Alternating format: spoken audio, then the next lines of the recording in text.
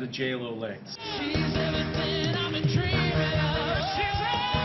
Everyone wants to have those strong legs, and it's so important for us for activities of daily living. And legs are our biggest muscle group, so we have nice, strong, powerful legs.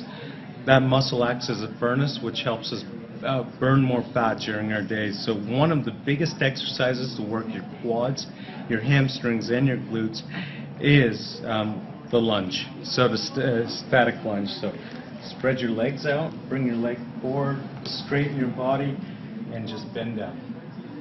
Okay, just back this back this leg up, go wider.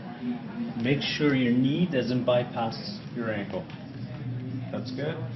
And tilt your back. Tilt yourself back and go down. Perfect. Perfect. So as you can see, she's working her quads, hamstrings, and her glutes all at the same time on both legs. And then she'll switch legs.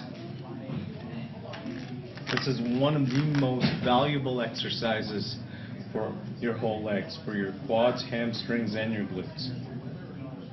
Make sure your knee doesn't go past your foot. Good. Feel the difference? Yeah, big time. It's a big difference because once your knee goes past your ankle, you put too much force on your knee joint, and that's bad technique. Second thing we'll work on is glutes. Can you lie on your side, please? So our glutes are separated into anterior, which is in front, middle, and posterior, which is behind.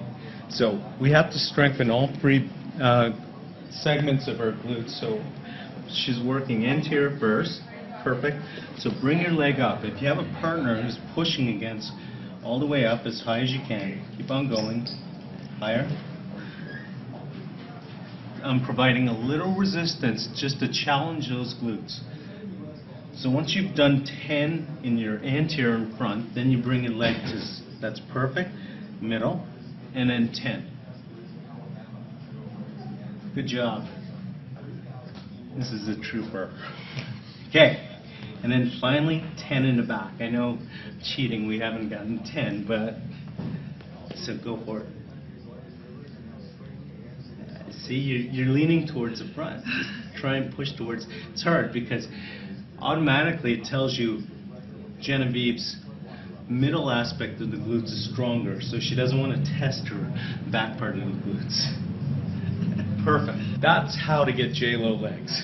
I mean, that's two exercises that are your best bang for your buck in terms of getting healthy and getting fit quicker and getting those legs you want and getting ready for the summer.